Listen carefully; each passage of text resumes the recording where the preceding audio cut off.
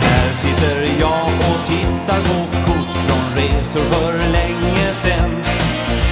Människor jag mött på främmande orter, kanske någon gammal vän.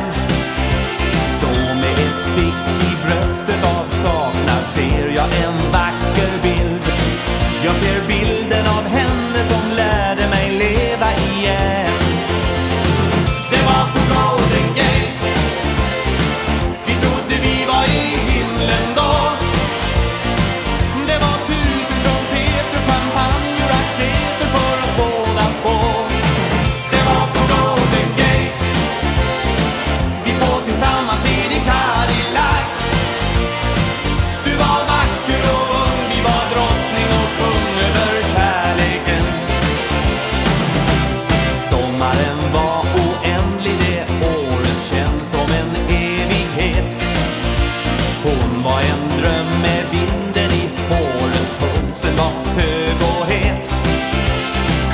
var gräns